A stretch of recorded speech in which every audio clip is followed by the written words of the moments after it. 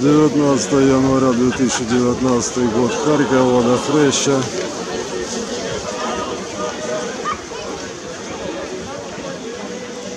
Сержа на миру.